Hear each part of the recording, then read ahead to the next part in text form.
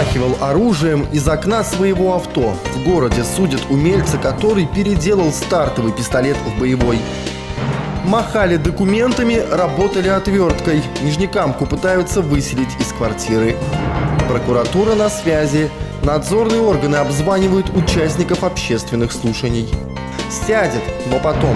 Почтальону, которая обманывала пенсионеров, вынесли приговор. Дети рисуют войну. Кто победил в республиканском конкурсе «Город творчества».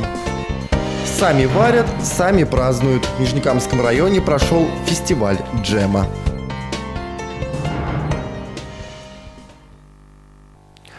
Об этом и не только прямо сейчас. Это новости на телеканале НТР. В студии Александр Комаров. Здравствуйте. Пьяный задор за рулем автомобиля плюс пистолет в руках. В Нижнекамске судят мужчину, который показывал мимо проезжавшим автомобилистам оружие. Как позже выяснилось, разрешения на его ношение у него не было. Любопытный факт в том, что изначально он покупал обычный сигнальный пистолет. Позже переделал его в боевой. Пистолет ну, приобрел для самообороны, если честно, так на всякий случай. Случай ждать себя не заставил. Правда, это была совсем не самооборона, а просто пьяная выходка. Произошла она минувшим летом вот на этой улице Чешмале. Подсудимый, видимо, решил продемонстрировать свое оружие. В нетрезвом виде он сел за руль автомобиля и начал размахивать пистолетом. Мимо проезжавший водитель вызвал полицейских. Началась погоня. В результате ее подсудимый попал в ДТП.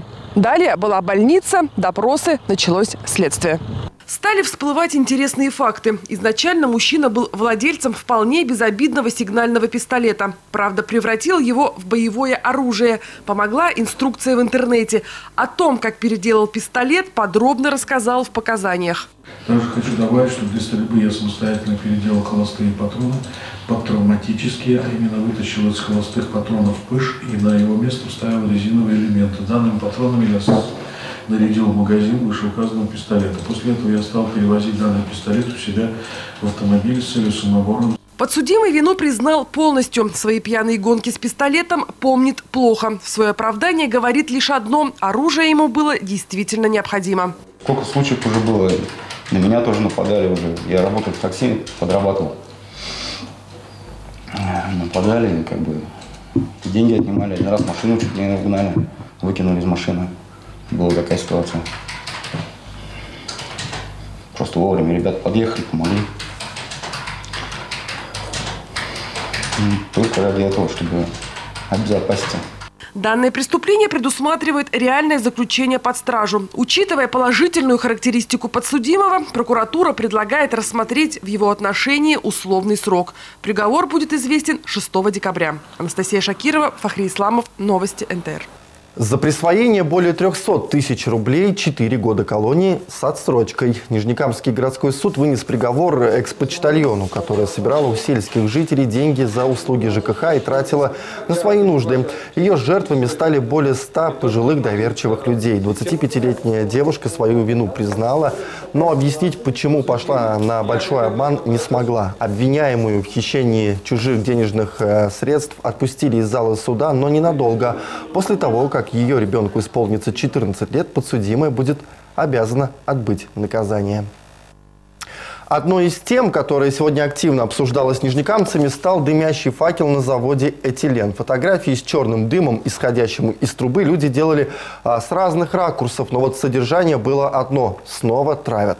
Как сообщили в пресс-службе Нижнекамской нефтехима, оборудование завода «Этилен» готовится к ревизии, а, в связи с чем возможно сжигание остатков нефтехимических продуктов на факеле с его дымным горением. А на период простоя на производстве при дымном горении Армении организовано подфакельное наблюдение. А помощники городского прокурора обзванивают участников общественных слушаний по проекту производства метанола. Людям задают несколько вопросов, такие как, к примеру, являются ли они сотрудниками компании «Нижнекамск нефтехим», а также добровольно ли те пришли на мероприятие и голосовали, и оказывалось ли на них давление. Напомним, проверку инициировали экоактивисты, которые в претензии указали на ряд нарушений. Слушания по проекту производства метанола а прошли в конце октября, причем два мероприятия сильно разнились. После первых слушаний проект был направлен на доработку, потому как население его не приняло. На вторых слушаниях люди чуть ли не единогласно проголосовали за строительство. А прокуратура продолжает проверку. Мы будем держать вас в курсе событий. Прочитала объявление в газете с весьма заманчивым предложением получить деньги в долг. Займ оформила под залог недвижимости. На то, что договор составлен с грабительскими процентами, нижнекамская пенсионерка внимания не обратила. Итог – на пороге ее квартиры приставы с постановлением о принудительном выселении. Наталья Лушникова расскажет обо всем по порядку. Вы пристав, вы кто? Вот на каком основании вы здесь? Женщина, спокойнее, держите себя в руках. Парень в медицинской маске молчит и раз за разом атакует камеру судебным постановлением, а потом и вовсе сбегает. За дверью причитает женщина, уверяет, приставы за долги выломали ей дверные замки. Это телевидение. Скажите, а кто у вас дверь-то ломал? Дверь эти приставы сломали. А зачем к вам приставы-то пришли? Я же говорю, я это, квартиру как будто миллион четыреста у них взяла. А взяла я 98 тысяч всего. Оформили на другого человека.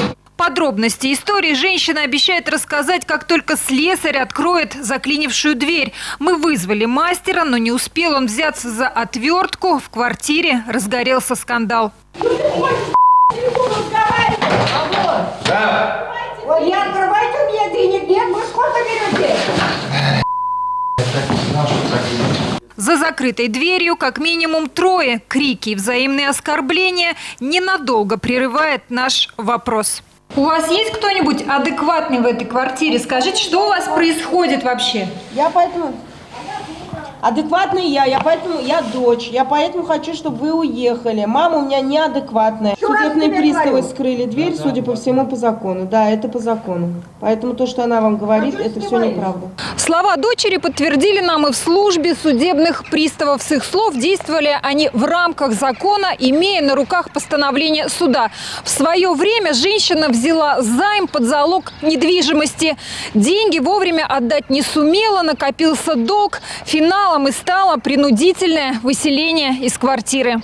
В присутствии сотрудников полиции представителей взыскателя пенсионерку выселили. Теперь это уже не ее квартира. А ведь все так хорошо начиналось. Увидела объявление в газете, взяла деньги и подписала договор по принципу «авось пронесет». Не пронесло. Наталья Лушникова, Фахри Исламов. Новости НТР. Об этой теме нас попросили рассказать телезрители. Если у вас тоже есть важная тема или предложение, то связаться с нашей редакцией можно по телефону 400770, через сайт его адрес ntrdefis24.ru или через мессенджер WhatsApp по номеру 8 917 93 73 077.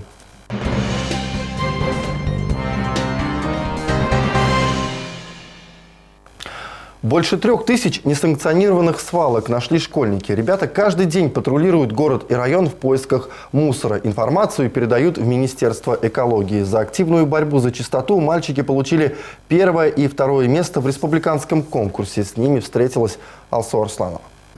Тагир и Ренат вышли на тропу войны. Главный враг – мусор, оружие, телефон. Через пять минут патрулирования улицы Бакюрманче противник замечен. Мешки валяются вдоль дороги. Нарушения зафиксировали. Подобные рейды по городу ребята проводят практически каждый день. Забота о чистоте привела их к республиканской награде.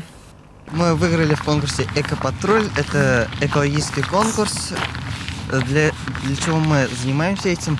Мы хотим сделать наш город чище, чтобы люди из других городов приехали и смотрели на наш красивый, чистый город. Две тысячи фотографий несанкционированных свалок принесли Тагиру первое место и новый ноутбук. Ренат сделал чуть меньше, у него серебро, подарили фотоаппарат. За четыре года школьники нашли 12 тысяч мест складирования мусора. Школьный патруль – палочка-выручалочка для экологов. Все фотографии, которые вы сделали, нужно потом отправить через Наш- приложение, правильно я Да, понимаю? мы отправляем все эти фотографии на школьный экопатруль, приложение есть. Мгм. Вот, снять нарушение, фоткаем нарушение и отправляем в Министерство экологии. В республиканском конкурсе победили не только ребята. Вторая гимназия, где учатся Тагир и Ренат, получила приз в номинации «Самая активная школа». Ученики постоянно участвуют во всех экологических акциях и не раз завоевывали первые места. Алсу Арсланова, Евгений Лызаев, Новости НТР. Вопросы детей с ограниченными возможностями здоровья и дела инвалидности сегодня поднимались в общественные приемные. С горожанами встретилась депутат городского совета Нина Буханова. Также проблемы жителей решали заместители управлений дошкольного образования и здравоохранения. А На прием к Нине Бухановой пришли 34 человека. У всех на воспитании дети с ограниченными возможностями здоровья. Подавляющую часть вопросов горожан на расширенном приеме удалось решить прямо на месте. Прием проходил в рамках всероссийской акции «Щедрый вторник». Она продлится с 19 ноября до 3 декабря.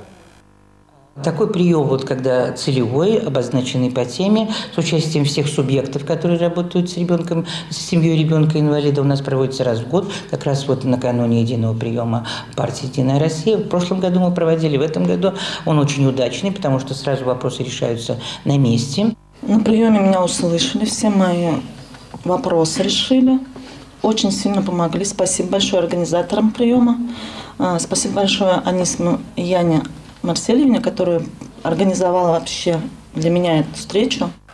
350 нижнекамцев до конца этого года должны пополнить ряды вооруженных сил России. Но призыв идет не так гладко, как хотелось бы. Многие современные юноши морально не готовы к службе в армии. Здоровье тоже оставляет желать лучшего. Об этом пойдет речь в очередной программе «Тема дня». Гость э, студии – военный комиссар Нижнекамского муниципального района Фарид Мингариев. Кроме того, речь пойдет о дедовщине, уклонистах, которые зря бегают от военкомата и альтернативной службы. Пусть не обижаются родители девочек. Кто бы там как ни говорил, не значит, э, ну, феминист у нас утверждает, что вот у нас равные права. При всех равных правах право, значит, э, взять на себя трудности должно быть у мужчины. И, только тогда будет хорошая семья. И только тогда будет, наверное, сильная страна. Нужно понимать, что мужчины должны брать на себя вот эту ответственность. Если мы это воспитаем, я вас уверяю, вы можете считать, что вы его подготовили, в том числе и к военной службе. Программа «Тема дня» выйдет в эфир завтра в 18 часов 10 минут. И каждую среду на нашем канале новые гости. Кстати, тему для обсуждения вы можете предложить сами к другим темам. В 7 лет она не могла встать на ноги, но не сдалась. К своим 30 годам уверенно передвигается с помощью ходунков и готова к новым победам. Нижнекамка Гульнара Усманова – единственная, кто представит наш город на шестом республиканском конкурсе среди женщин с инвалидностью «Жемчужина Татарстана». Что пришлось для этого преодолеть, девушка рассказала нашей съемочной группе. Вот это та песня, которую я буду исполнять на конкурсе. Она называется как?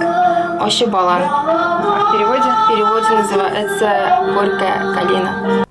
Слова этой песни отчасти перекликаются с судьбой самой исполнительницы. В 7 лет Гульнара после тяжелой болезни перестала ходить. И лишь поддержка мамы и тренера Радика Закирова помогли ей встать с коляски и перейти на ходунки. Мне очень больно было вот как бы так этот, все это пережить, потому что я возвращалась домой э, с, ну, как бы с роз- разорванными руками. Все перчатки были разорваны. Я ползала. Я, я для себя цель поставила, чтобы встать на ноги. Теперь у Гульнары есть еще одна цель – получить корону в конкурсе среди женщин с инвалидностью «Жемчужина Татарстана». К состязанию девушка полностью готова. Есть профессиональное портфолио, два вечерних платья в пол и настоящий прорыв. Дефиле на сцене будет на каблуках. Палетки я носила, сандали носила. Но как бы каблуки это первый раз для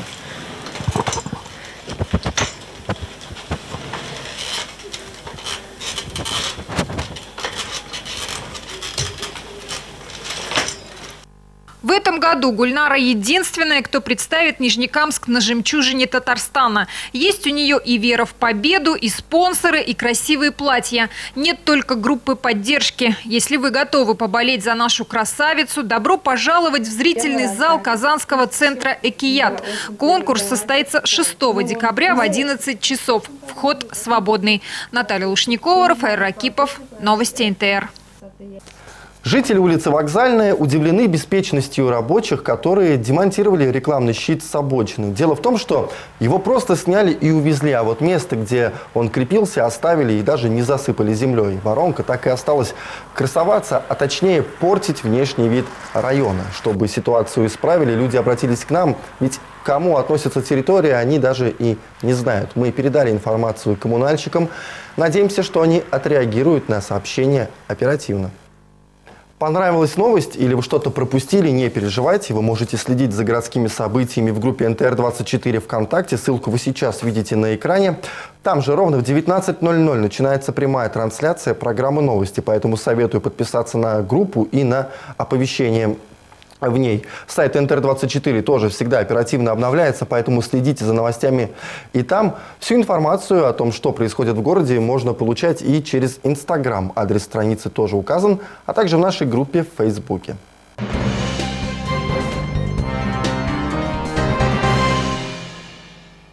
Воспитание уважения к традициям народов России и укрепление межэтнических отношений. В колледже нефтехимии и нефтепереработки сегодня прошел отборочный тур фестиваля национальностей Безберге. Десятки номеров э, представили на сцене колледжа сотни молодых нижнекамцев. Здесь ученики школ, воспитанники подростковых клубов и студенты. Весь многонациональный колорит России ребята показали в своих творческих номерах. Конкурс проводится в трех номинациях – пение, танец и фольклор. Каждый из десяток творческих коллективов города и района. Фестиваль национальностей Безберге проводится в Нижнекамске четвертый год. Победители отборочного тура будут представлять район на республиканском этапе конкурса. Мы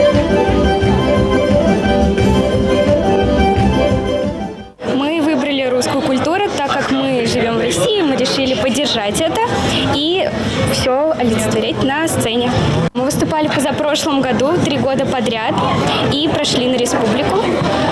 Какие планы на этот год? Пройти дальше, еще больше и еще дальше.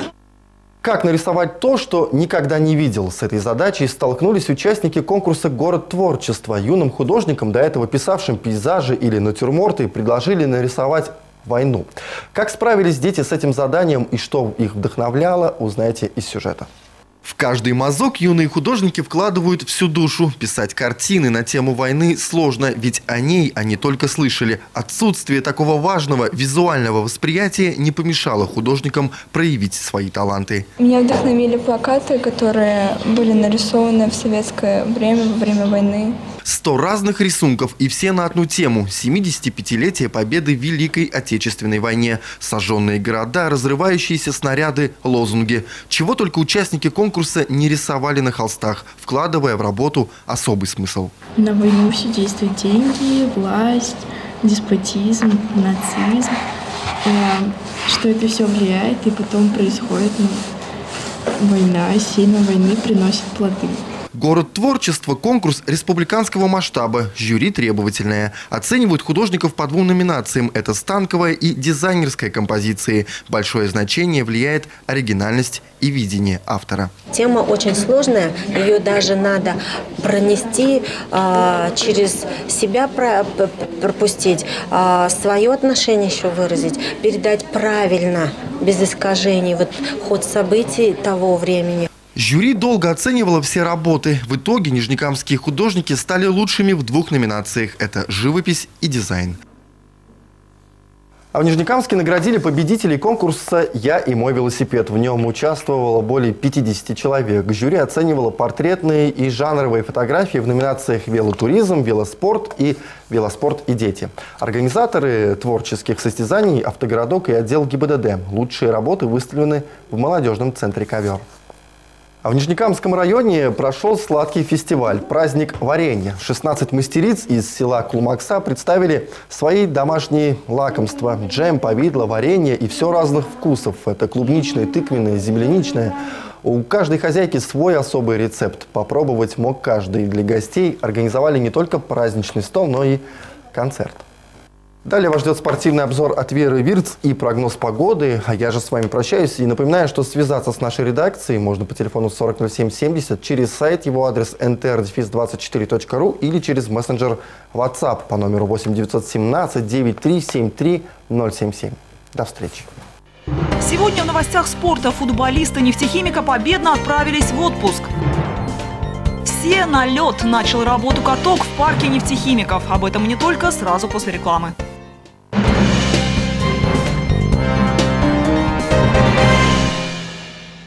Стоматология Dental – лечение зубов любой сложности. Все виды протезирования, удаление зубов без боли, установка имплантов под ключ в 30 тысяч рублей. Консультация бесплатна. Работаем по полисам СОГАЗ, РИСО гарантия, ВТБ страхование. Гагарина 54, подробности по телефону 41 70 90. Стань Дедом Морозом вместе с медиахолдингом НТР. Приносите в редакцию игрушки и сладости, а наш Дед Мороз устроит праздник там, где он очень нужен. Телефон для справок 400770. Прием ведет Исмагилов Гамир Гарифович, кандидат медицинских наук, доцент, заслуженный врач Республики Татарстан, хирург высшей категории. УЗИ обследование органов брюшной полости и малого таза с выездом на дом. Консультация лежачих больных на дому. Своя методика лечения почечно-каменной болезни. Консультация в области хирургии, сосудистой хирургии, урологии, проктологии стоматологии, онкологии, остеопороз шеи и поясничного отдела позвоночника, снятие боли в крупных суставах, диагностика лечения сексуальных расстройств у мужчин, аденома, простатит, очищение от паразитов. Проблему семейного бесплодия решаем совместно с репродуктологом высшей категории, акушером-гинекологом Исмагиловой Галиной Ивановной, заслуженным врачом Татарстана. Обращайтесь, когда другие вам отказали и вы устали лечиться. Исправляем заблуждение в диагнозе, учим устранять причину, вызвавшую болезнь.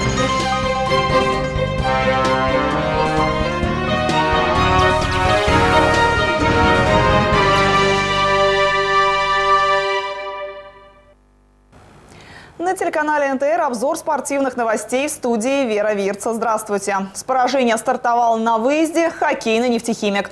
Наша команда в Москве уступила местному «Спартаку». Счет открыли красно-белые уже на второй минуте игры. Нефтехимик схлопотал удаление, за что и поплатился. Робин Ганзел добил шайбу с дальнего пятака. Нижнекамцы свои попытки в первом периоде использовать не смогли, хотя и играли в формате 5 на 3, почти минуту. После перерыва Нижнекамский клуб также чаще играл в большинстве и решил атаковать более агрессивно. В третьем периоде спартаковцы сыграли строго по счету, так и не позволили сопернику отличиться. И в итоге Нижнекамск уже во втором матче подряд не смог забросить шайбу. Теперь о футболе. Если наши хоккеисты с минимальным счетом проиграли, то футболисты праздновали победу. В последнем матче перед отпуском в Казани нефтехимик принимал красноярский «Енисей». Нижнекамцы очень активно начали матч, подавляя соперника на всех участках поля. Причем действовали комбинационно. На высоких скоростях открыть счет наши могли уже на 18-й минуте. Удар Уридии был неточным. В концовке матча мог отличиться Шадрин. Вторую половину Енисей с первых минут заиграл острее, пытаясь перехватить инициативу. На 66-й минуте после подачи очередного углового, выиграв воздушную дуэль, Максим Ширяев сбросил мяч головой и Мираби Уридия забил у ворот свой десятый гол в первенстве, принеся очередную и заслуженную победу нашей команде.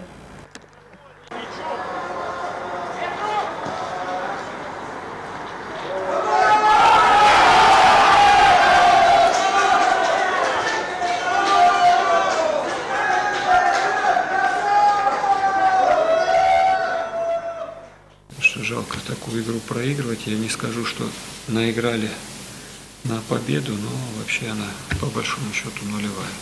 Тяжело было нам в этом сезоне. Много игр, непривычно для нас.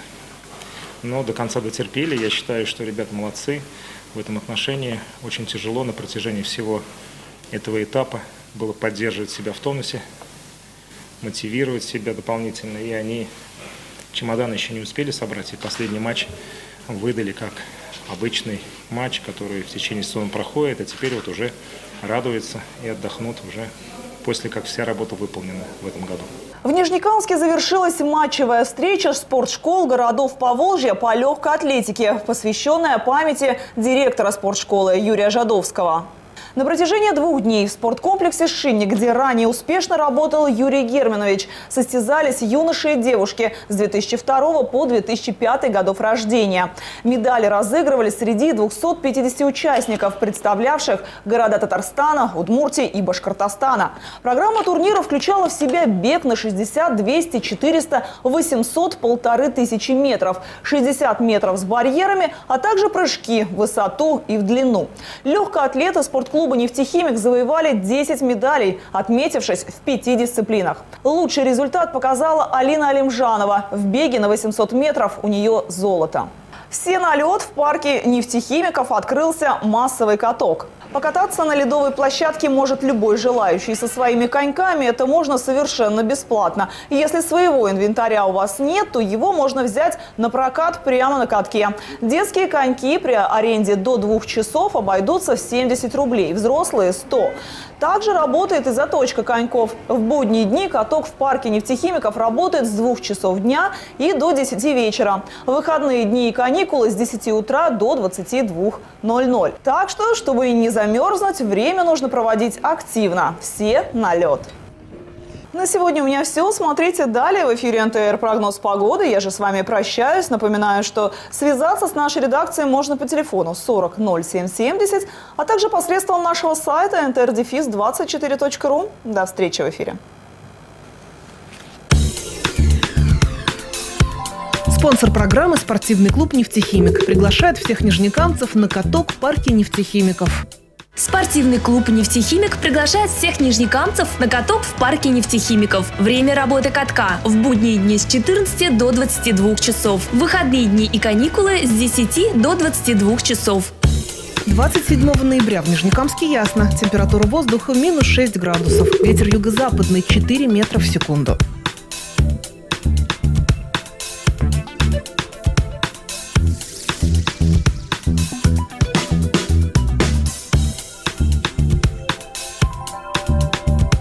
Середине недели будет пасмурно.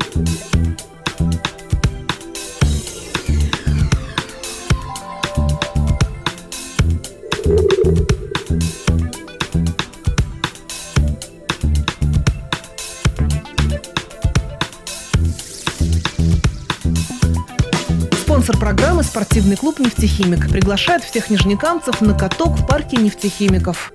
Спортивный клуб «Нефтехимик» приглашает всех нижнекамцев на каток в парке нефтехимиков. Время работы катка – в будние дни с 14 до 22 часов. В выходные дни и каникулы с 10 до 22 часов.